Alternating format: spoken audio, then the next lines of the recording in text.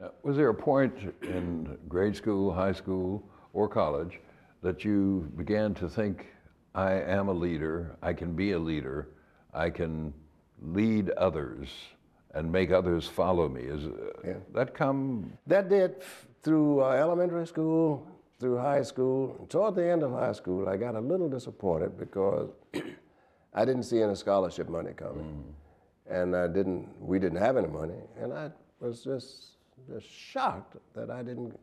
There was nobody that talked about any scholarship coming my way. We didn't have these great foundations Right. and grants. So I, I I slowed up considerably. When I went to college, I was, as you, young, I was only 16, and I got more interested in some other things. Mm. and you know who they were. Mm-hmm. I played a lot of intramural sports. I cut class to play ping pong. I did everything I could to hang out. the next year, I was eligible to join the fraternity, and I studied hard for that. Then after that, I started hanging out. And so I think in my sophomore and junior years, I really sloughed off and then found it necessary to regain and try to get out of college.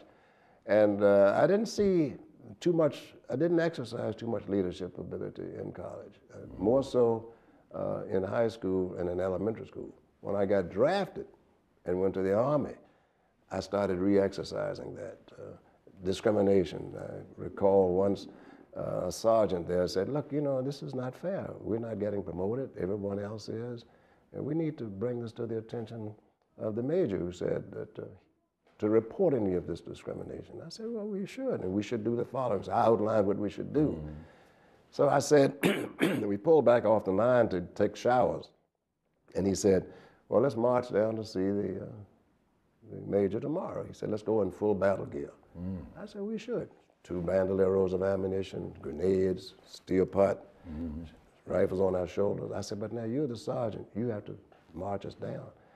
And so it got to a point that I was exercising that degree of leadership. We went to the major and told him the problems, had to push them to mm-hmm. tell it. But once we started telling him, I was called upon to represent several guys who were charged with court martial offenses and pretty much got what we wanted in that. So in Korea, I picked up where I had left off in uh, high school, but college was, uh, was dismal for me in terms of leadership. As a matter of fact, if you had to bet on where I'd end up in college, it'd be at the bottom.